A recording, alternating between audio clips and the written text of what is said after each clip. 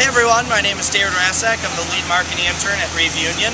In case you missed it and you're at home this summer, behind me you can see that we're uh, starting construction on the new residence halls. It's a very exciting time here on campus, but personally, I think it's a little sad because actually that was my home freshman year.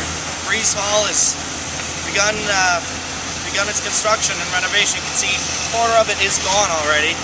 And uh, what we'll do this summer here at Reeve Union is give you some updates on the construction, what's going on, give you some video updates, and get some interaction with your stories of the NBC Village and, uh, and what it meant to you and if you're excited or sad to see it go. Uh, obviously, it's going to be kind of exciting when everything is said and done.